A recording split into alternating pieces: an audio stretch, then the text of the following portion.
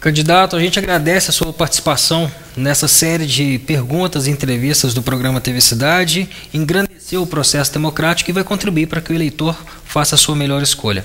Agora só tem mais dois minutos para fazer suas considerações finais ao eleitor. Eu agradeço a todos vocês da imprensa, de um modo geral, é, que, que, que, que colabora, contribui muito na formação de ideias do, do, do eleitor. É, o eleitor hoje, o cidadão hoje, está cansado de promessas vazias, é, acompanharam os trabalhos na Câmara Municipal através do rádio, onde o vereador pegava o microfone e inventava uma verba que o deputado tinha mandado, inventava uma coisa ali. É, hoje, quando chega a época de política, eles inventam que vai ter asfalto Lagoa Luz toda vez que tem uma eleição. É, eles esquecem das prioridades do município.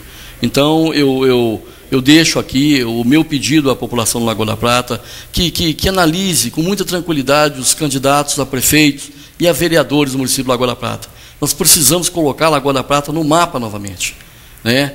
É, e essa proposta de governo é, do, do, do, Paulinho do Roberto, que é a proposta do 12, que vocês analisem, conversem com a gente, nós vamos estar nas portas, estamos andando de porta em porta, estamos discutindo, tudo que foi elaborado foi dentro do orçamento do município, que o ano que vem chegaremos a 75, 80 milhões de reais, se Deus quiser, e nós temos dinheiro para estar investindo na população do Lagoa da Prata.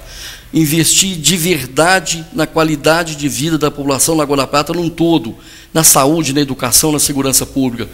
Nós não vamos viver de promessa, esperando o deputado vir aqui, dar tapinha nas costas, ficar prometendo e vai embora e acha que pode levar o, o, voto do povo, levar a confiança do povo.